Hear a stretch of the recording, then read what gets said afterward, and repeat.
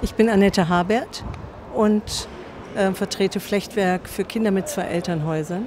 Ich bin Initiatorin von Mein Papa kommt und Unternehmerin im Flechtwerk für Kinder mit zwei Elternhäusern.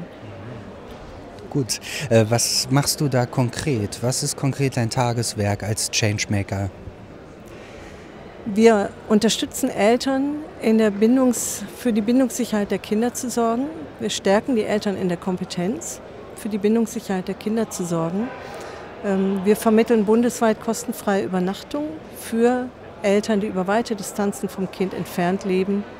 Und sie erhalten von uns kostenfreie Übernachtung am Wohnort des Kindes.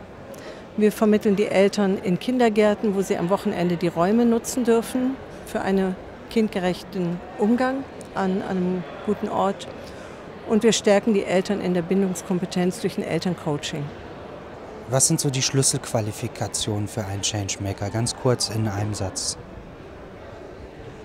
Ein Changemaker ähm, bringt voran, wenn er die Wunden in seiner Biografie als kreatives Potenzial nutzt, um Welt zu gestalten. Denn ich glaube, da liegt so seine, seine große Wirkkraft drin, die er mitbringen kann. Super. Für die Machbarschaft, was ja Thema heute ist von dieser Ashoka-Konferenz, gibt es persönliche Wünsche? Was wünschst du dir, damit eine Gesellschaft noch veränderungsfreundlicher zum Beispiel wird? Was äh, wünschst du dir für Machbarschaft in der Zukunft, in der nahen Zukunft?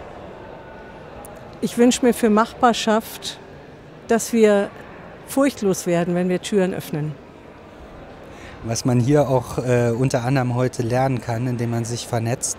Äh, was denkst du denn, was du heute persönlich neben dieser Ehrung als Fellow heute mitnehmen kannst? Äh, was kannst du hier heute lernen? Wir vertreten Flechtwerk für Kinder mit zwei Elternhäusern und wir brauchen auch ein Flechtwerk. Und vor allem ein Flechtwerk an Erfahrungsschätzen der anderen. Das ist das, was ich mitnehme. Kinder sind ja eine ganz zentrale, äh, ganz zentrale Aufgabe bei dir. Was denkst du denn, was Kinder äh, für eine Rolle spielen in der Veränderung, in der Zukunft unserer Gesellschaft? Die Kinder brauchen die Gewissheit, dass sie verbunden sind mit der Gesellschaft